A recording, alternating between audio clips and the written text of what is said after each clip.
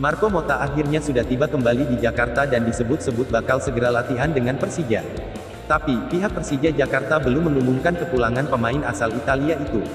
Seperti diketahui, sampai saat ini Persija baru hanya diperkuat oleh tiga pemain asingnya, yakni Marco Simic, Mark Klok dan Rohit Chanda yang dua baru saja bergabung.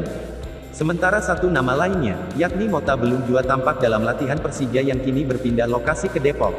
Kini Marco Mota pun tampaknya memberi sinyal akan bertahan di Persija. Hal itu setelah, pemain yang sempat memperkuat AS Roma tersebut sudah kembali di Jakarta. Hal itu terlihat dari unggahan The Jackmania yang mengabarkan kalau Mota sudah tiba di Bandara Soekarno-Hatta sejak Minggu 27. September tahun 2020 dia datang membawa istri beserta anak-anaknya yang sempat menemani sebelum pandemi COVID-19 datang. Pihak Persija belum mengumumkan kedatangan kembali pemain asal Italia tersebut. Presiden Persija, Muhammad Prapanca, sempat buka suara soal masa depan Marco Mota. Dia menyebut kalau memang sedang dalam proses negosiasi dengan sang pemain. Terkait dengan Mota ini kami sedang renegosiasi ulang. Sampai hari ini, manajemen dengan Mota masih negosiasi. Kami berharap Mota menerima keadaan.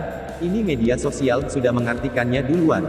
Tapi kami yakin sekali, manajemen melakukan N yang terbaik untuk klub Beber Prapanca. Keberadaan Mota di Persija Jakarta memang cukup berpengaruh.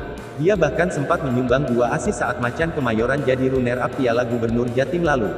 Pada Liga 1 2020, ex pemain Udinese itu juga sudah menyumbangkan satu asis buat Persija.